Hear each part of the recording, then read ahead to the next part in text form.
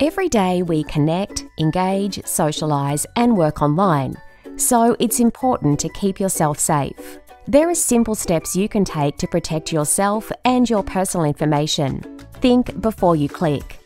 Hackers use phishing emails to access your secure information. Be cautious about emails you receive, and if you think the email is suspicious, don't click any links or open any attachments.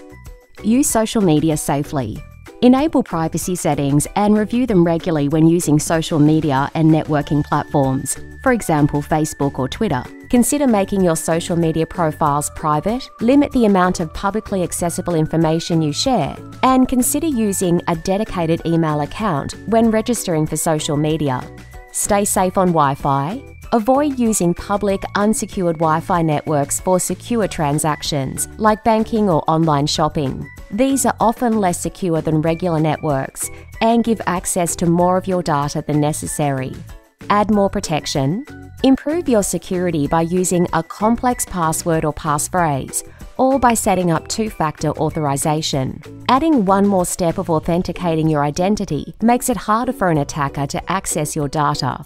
Report any misuse. If you believe a New South Wales public sector agency or organisation has misused your personal information, you can lodge an application for an internal review with the agency or report it to the New South Wales Privacy Commissioner. Learn more about your privacy rights in New South Wales at www.ipc.nsw.gov.au.